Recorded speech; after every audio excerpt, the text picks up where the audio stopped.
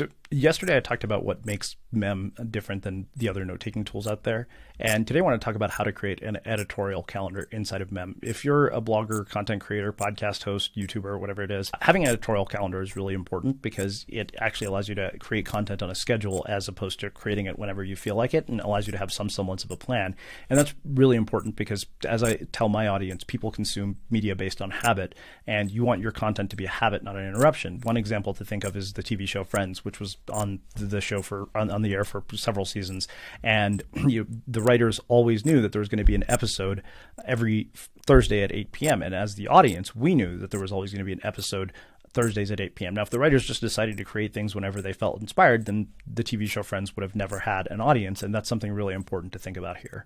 So let's talk about how you actually do this inside of Mem. In most note taking tools or apps, your editorial calendar ends up being this just jumbled up mess of spreadsheets, trying to figure out status, trying to figure out where it's at. And the way to think of how to create this in Mem is in terms of categories and Mem. So any individual article or blog post is going to get an individual Mem. And then for each category or, or topic or status, you'll want to use some sort of tag. And one good way to do this is to have metadata for each one of your blog post mems.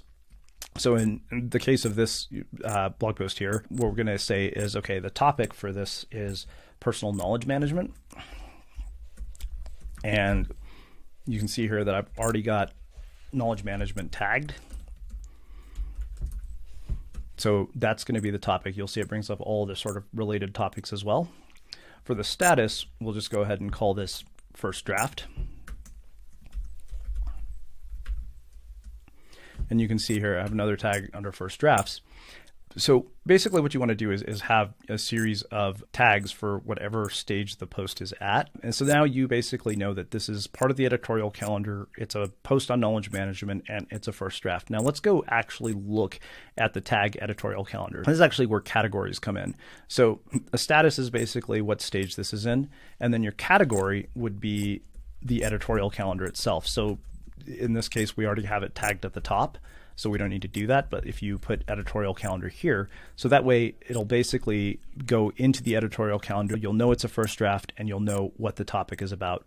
And because it's tagged here, like I said, we don't actually need to do that. So now, if you go over to editorial calendar, you can actually see everything that's tagged with an editorial calendar tag. And the nice thing here is you can also figure out what's a first draft, what's just an idea, what's something that needs to be proofread, whatever it is. And you also are able to see what topic everything has. You can see what the topic tag. So if I did that, you know, if I did a search for anything knowledge management that was inside of my editorial calendar, I can actually go back and I can see this list of all the various blog posts that are inside of here that become part of the editorial calendar. So again, not a particularly complicated thing to do. It really is just about having some sort of hierarchy. You can see I have a bunch of different stuff inside, but really creating an editorial calendar inside of mem is super straightforward. Just by using a few different tags you're able to do this. I think mem is really just a fantastic tool for writing for that reason because of the fact that you can see how all the different ideas connect. So let's say that you're writing a blog post about marketing on monday one about attention management on tuesday and another one about marketing on thursday or whatever it is you can actually see everything that you've written here that goes into your editorial calendar that you know happens to have the same tags. You can see everything here that is inside of the editorial calendar. I can see under this category. I can also see anything that I wrote about a particular topic if I tag that topic. That way, if you have a, group of blog posts, for example, and you wanted to turn those into a free ebook on a particular subject, you'd basically know where all that content is and you could pull that together very easily. So, for example, let's just say we open that. The nice thing about that is that it just opens in the sidebar. Or let's say that, for example, I pull this blog post up and I want to basically start assembling an ebook from all these different blog posts. I can just start pulling content from the various ones very easily and put them all into one mem that I can later turn into an ebook. So that's how you create an editorial calendar inside of mem. Uh, as I said yesterday, feel free to ask me questions in the comments.